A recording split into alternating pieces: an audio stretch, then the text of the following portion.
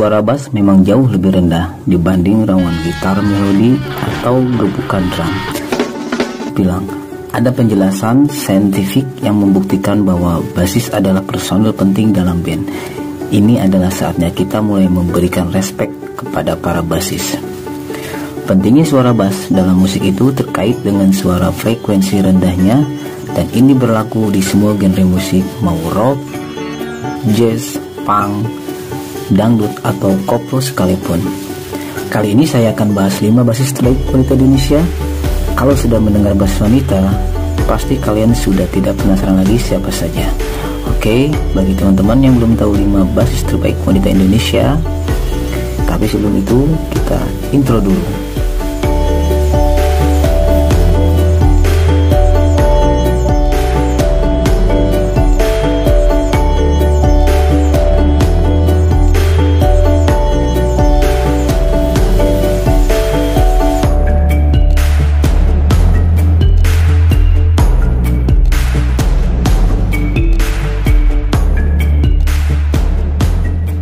Oke, di urutan kelima, basis wanita terbaik wanita Indonesia adalah Princess Amanda atau lengkapnya Princess Amanda Surya.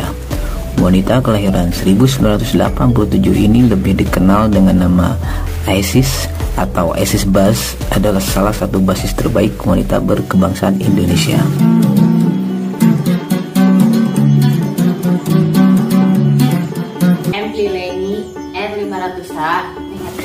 Menginjak umur 13 tahun, Esis mulai belajar mendalami alat musik bass bersama guru bassnya bernama Eri Prasetyo.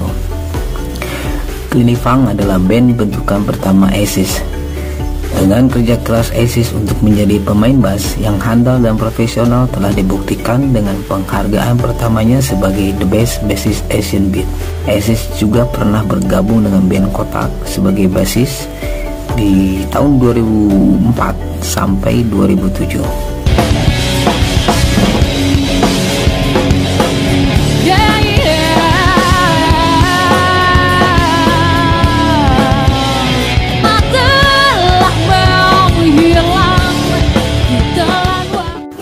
Lalu Esis bergabung dengan band Ahmad Dhani Project seperti Rock, Indonesia, dan Triad.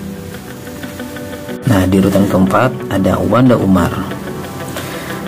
Menjadi salah satu pemain bass perempuan di Indonesia tentu merupakan sebuah kebanggaan tersendiri bagi Wanda Umar. Yap, musisi yang sudah belajar gitar bass sejak masih remaja ini nampaknya mendedikasikan dirinya untuk dunia musik.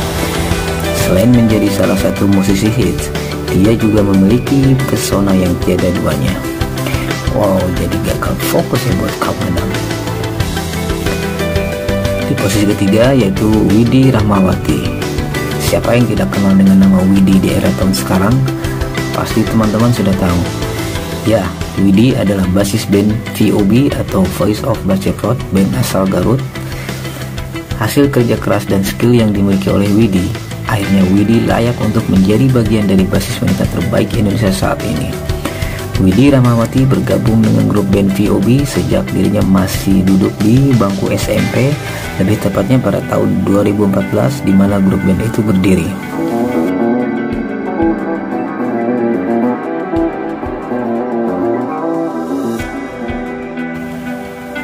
Di urutan kedua ada Nisa Hamzah.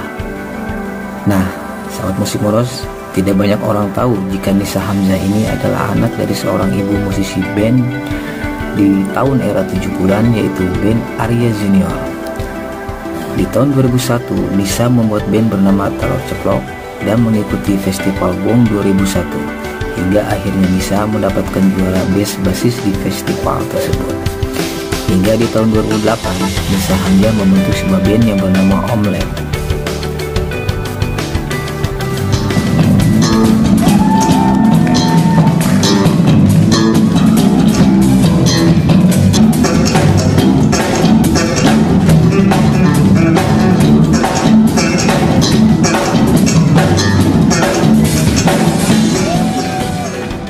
Omlet pertama yaitu Swasti Sabdastantri atau yang biasa dipanggil Chua.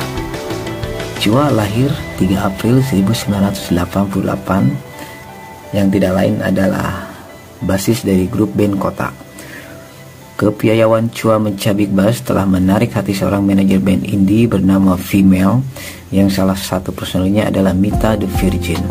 Saat dirinya tampil bersama sebuah band di kampusnya, Chua sempat bergabung dengan Female sebelum akhirnya manajemen Kotak memintanya bergabung dengan album Kotak yang kedua. Chua menjadi basis kotak setelah menggantikan Princess Aziz Amanda yang menjadi personil triad penampilan Chua yang cantik dan keahliannya membetot pas memberikan warna baru pada kotak. Juga merupakan salah satu magnet fans buat kotak.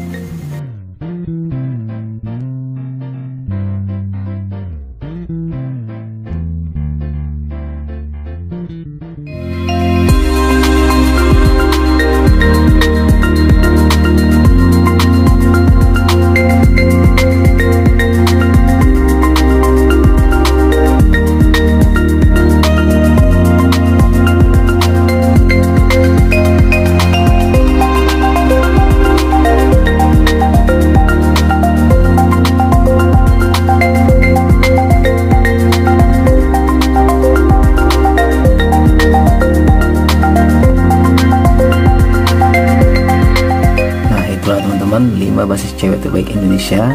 Bagi teman-teman yang mempunyai versi lain isi di komentar ya. Jangan lupa like share komen dan subscribe. Terima kasih